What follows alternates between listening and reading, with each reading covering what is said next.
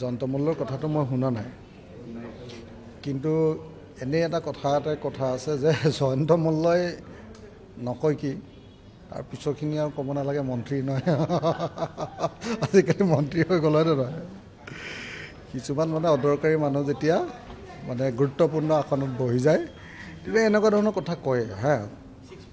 সেইবিলাক কথা বাদ মানে আচলতে আমি বিৰোধী শক্তিবিলাক একলগ হোৱাৰ কাৰণে শাসক শ্ৰেণীটোৱে বেয়া পাইছে।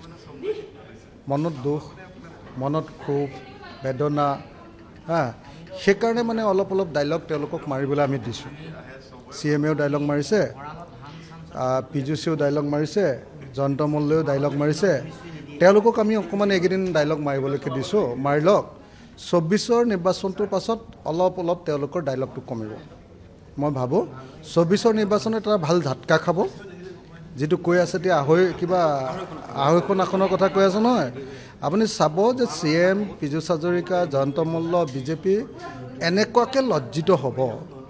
তেওঁলোকৰ অহংকাৰৰ যিটো দম্ভৰ যিটো মানে চূড়া তাৰ পৰা তেওঁলোকে এনেকুৱাকৈ খহি পৰিব দুহেজাৰ চৌব্বিছ চনৰ নিৰ্বাচনত। জনতাক তেওঁলোকে মূঢ় জনতা বুলি ভাবিছে। জনতাক তেওঁলোকে মূৰ্খ বুলি ভাবিছে। জনতাক তেওঁলোকে সদায় এনেকৈ হিতাধিকাৰী বনাই চলাই ৰাখিম বুলি ভাবিছে।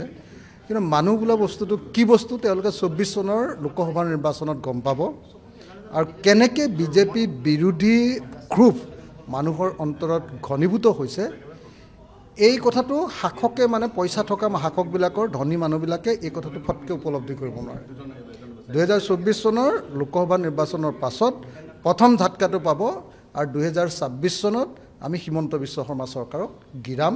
এইটো আপোনালোকে লিখি লওক। দুহেজাৰ ছাব্বিছ চনত বিজেপি চৰকাৰ অসমৰ পৰা উফৰোৱা হ'ব।